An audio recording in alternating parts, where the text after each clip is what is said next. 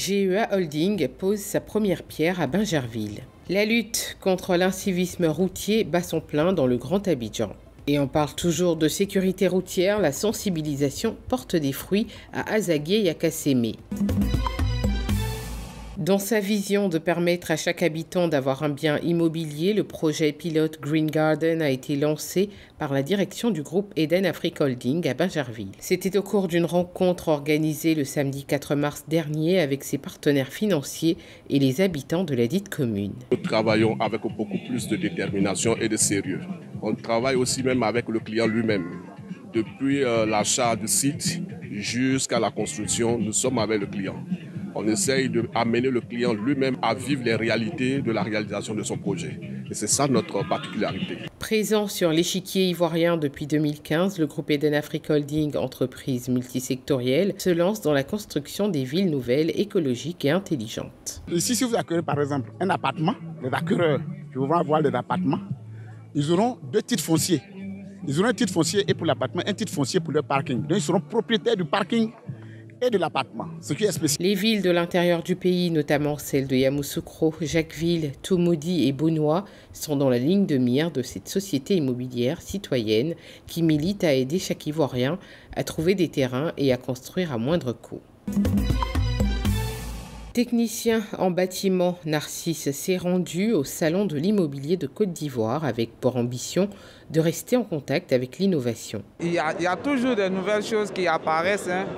Aujourd'hui, j'ai découvert, ce monsieur vient de me parler de certains appareils que je n'ai jamais vus, que je ne connais pas. Donc ça me permet aussi de, de découvrir encore toutes les nouvelles choses. Je suis obligé de revenir chercher, faire l'effort d'apprendre encore plus. Puisque je suis dans le domaine, donc je veux plus découvrir les choses dans le bâtiment. Comme lui, ils étaient plus d'un millier à visiter les stands pour mieux s'informer, à l'image d'Ali, un trentenaire qui souhaite investir dans le foncier. Non, parce que le foncier, parce que tout le monde a tendance aujourd'hui à investir dans le foncier. Donc pour investir, il faut vraiment s'informer et se former. Il y a trop de problèmes au niveau du foncier en Côte d'Ivoire. Donc c'est pour cette raison que nous arrivons ici pour pouvoir connaître tous les, principes. Quoi. Voilà, c'est pas seulement ça. Voilà. Et puis également euh, connaître, euh, par exemple ici, par exemple, on vend les appareils, voilà, tout ce qui rentre en ligne compte dans la construction électrique de la maison. Donc c'est pour ça que nous sommes là. Cette sixième édition a réuni une centaine d'entreprises, tous désireux de présenter leurs activités dans la distribution de matériel électrique, industriel et bâtiment, comme cette PME qui se targue de ses coûts attractifs. Non, le salon déjà c'est une vitrine qui nous aide à mieux vendre, à mieux nous faire connaître. Donc euh, je pense que c'est salutaire. Ça nous permet de nous rapprocher de la population, qui, sache que des meubles existent et que nous faisons là, nous sommes là, nous sommes aussi un acteur majeur, nous faisons du matériel électrique, du bon matériel électrique. Ne, ne craignez pas de venir nous voir, ne pensez pas que non, des meubles, non, c'est une grosse structure, les trucs sont chers, non. D'abord en venant chez nous, vous venez, vous venez pour acheter la qualité à moins de coût. L'immobilier est bien plus que l'achat ou la vente d'un bien et c'était justement le thème de cette dernière édition du Salon de l'immobilier de Côte d'Ivoire qui s'est déroulé du 4 au 5 mars 2023. La lutte contre l'incivisme routier bat son plein dans le Grand Abidjan. Pour cette deuxième édition, les semaines nationales de la sécurité routière démarrent avec le déploiement massif d'agents de police dans plusieurs villes. Très belle initiative. Au moins, on aura moins d'accidents sur les routes et on aura des chauffeurs consciencieux. Le samedi 4 mars 2023, plusieurs équipes ont sillonné les rues de plusieurs communes, dont Koumassi, Port-Boué et Cocody, où est installé un dispositif de barrage intelligent. Des points stratégiques d'où ils ont effectué des contrôles. vous l'avez constaté vous-même qu'aujourd'hui, les comportements commencent à changer. La plupart des conducteurs que vous voyez dans la rue ont tous leur ceinture de sécurité. Il y a très peu, selon les rapports que nous avons eus de la première journée, il y a très peu que nous avons pris avec le téléphone au volant. Donc c'est déjà une source de satisfaction pour nous.